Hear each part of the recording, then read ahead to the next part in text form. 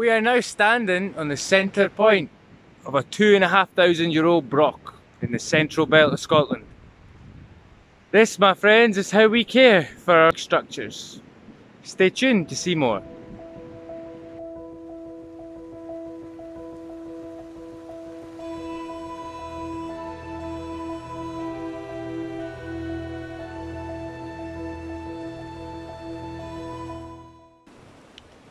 Just north of the Antonine Wall, there are a record of four Iron Age brochs. One of those brochs, Tappoch broch or Torwood, I visited. I'll leave a little link just here or here. Now, another one of those brochs is this broch here, Leckie broch. Was a very hard thing to find. And to be honest with you, my initial thoughts and feelings of this place changed within seconds of me getting here.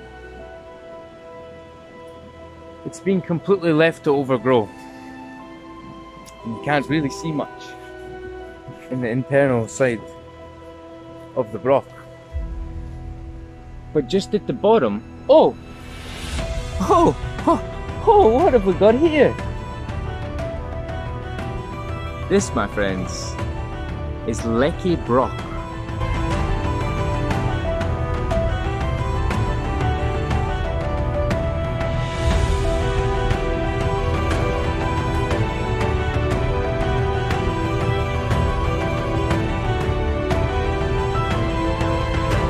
The Broch itself is a strategic masterpiece. Set right where two streams power off the, the hills and meet each other.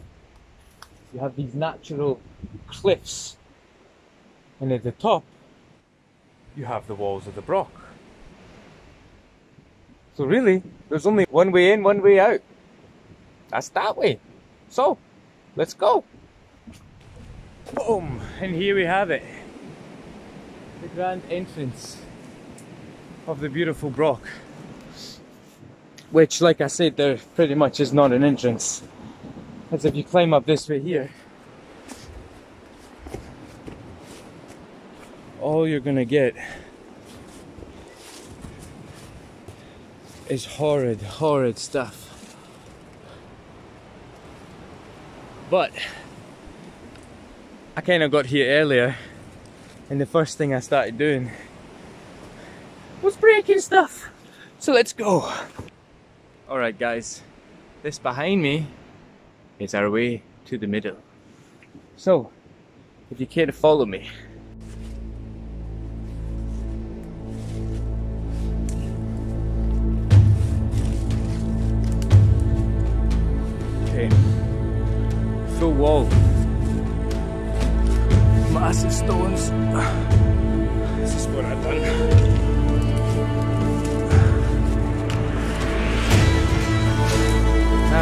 Get up here.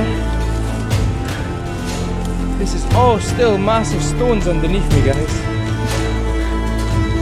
When you get to the middle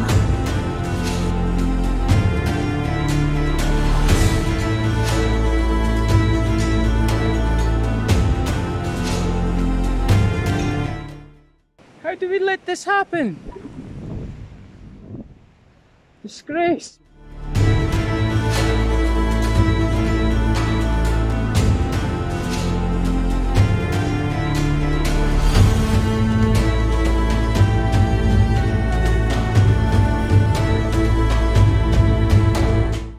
This is a very strange broch, guys.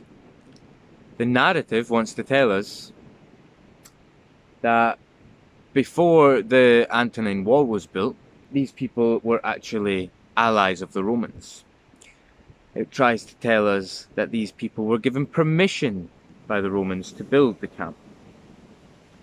Their evidence for this is because they found Roman artifacts and different Roman coins and all different kinds of Roman stuff. It was excavated in the 1970s and it took eight years. So tell me, if you spent eight years on this Broch in the 1970s, why in the hell does it look like this?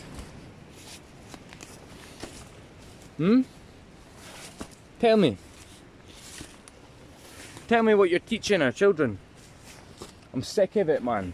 I'm absolutely sick of it.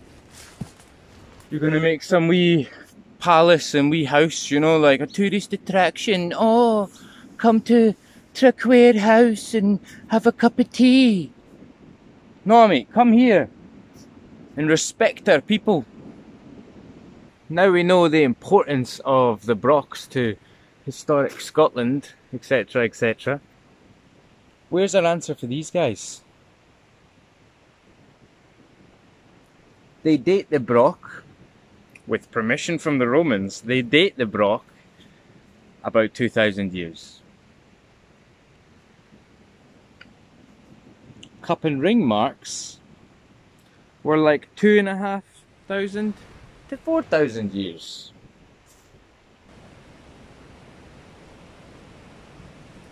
Hmm. So we have that here on the entrance, northeast entrance. And then you have so many of these cup grooves here. No rings that I see really. But I don't know if this is all natural.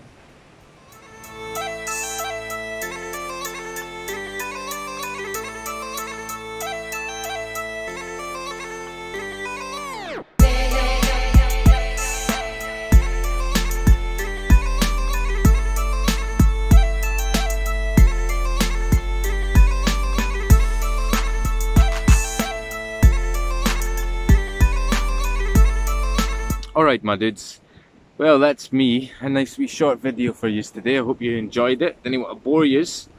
I uh, just so happened to have a wee rummage around, found some weird thing, I don't know if any of you know anything, pretty damn cool, but I also, I found an axe.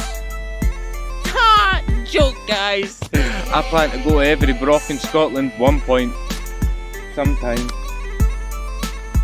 Man, if I could, I would just rip all these trees out. Apparently this land belongs to somebody. So, until the next time, hit subscribe. Gotta get my, my weird thing. It wasn't an axe head, but I'll take my weird thing. That's the crazy drop, by the way. So yeah, I'm gonna go in here, see, if it's epic. Um, subscribe give me a thumbs up. And maybe once in your life you might see me again sometime. Cheerio today! Fuck it, drop the camera. Bye guys.